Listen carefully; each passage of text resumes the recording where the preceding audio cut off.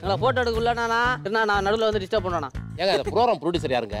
இல்லை கெஸ்ட்டை வந்து கூப்பிட்டு வந்து இப்படி கஷ்டப்படுத்துறதா? ஏன்னா இதெல்லாம் சொல்ல மாட்டாங்களா? பாருங்க அது கெஸ்டே சொல்ல நீங்க அமைதியா இருங்க. அப்ப நான் கெஸ்ட்டு சாரிங்க சாரி வேற யாரும் கேட்கணும் அமைதியா இருங்க இனிமேல் இந்த மாதிரி நடக்கும்.